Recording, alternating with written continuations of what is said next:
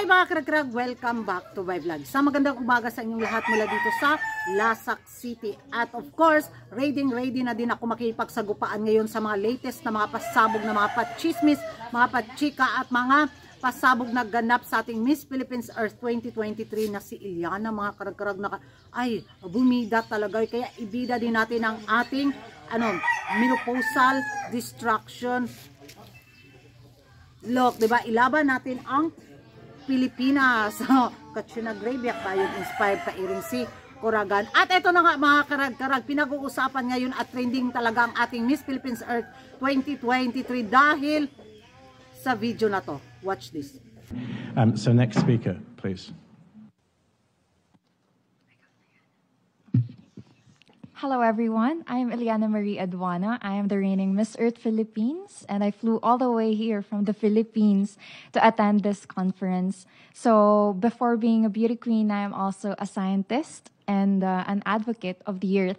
So what I do is I travel to different sectors in the Philippines to talk about the 17 sustainable development goals and their interconnectedness to the nature. And one thing I have observed in the Philippines is that most students actually do not have any idea about it. So that's a very disheartening reality.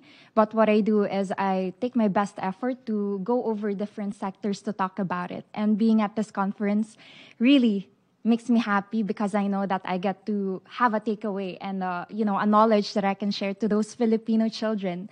So one of the solutions that I do too is to come up with um, 17 um, you know, um, 17 community outreach individually to talk about the 17 SDGs and to create a pamphlet of summary of the 17 SDGs so that I can give them out to the Filipino children because I, I always tell them we have to understand that everything in nature is always in connection with our actions. And you know and our decisions on a day-to-day basis across all times and places really play a vital role in shaping what our future looks like. And these filipino children and children all over the planet are our future. So i inspire them all the time. Thank you.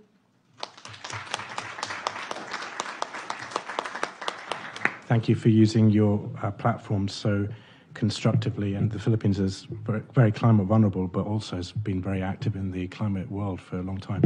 So two more speakers to go. So next speaker.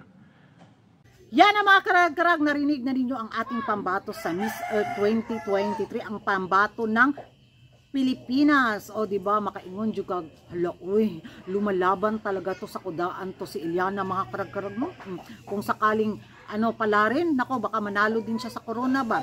Hindi naman natin maipagkakaila na full package naman yung ano, kaapambato natin sa Miss Earth 2023. Mm. Level up kaayo, oy, makaingon jud kabag ito yung pageant na hindi kayang ano, tapatan ng iba ding mga ano bigating beauty pageant bitaw ang advokasya ng Miss Earth ito talaga yung sulid na ano ng Miss Earth na hindi kayang pantayan ng ibang mga pageant na lalo na sa Stop the War and Violence. Kalayo ra wala ra jud sa kumingking. So yan ang mga karag ano yung masasabi ninyo sa ganap ni Iliana sa press conference na to sa United Nations. Napabilib ba kayo mga karakrak? Kaya ako napabilib jud ko bisag bubo ako sa English. Magingay tayo sa comment section at kung bago ka pa lang sa channel ko at kung mahilig ka sa papagood vibes na reaction video sa beauty pageant, don't forget to like and subscribe my channel Kuragan Karag, ang babayang lagi na karakrak. And see you in my next vlog. Bye bye!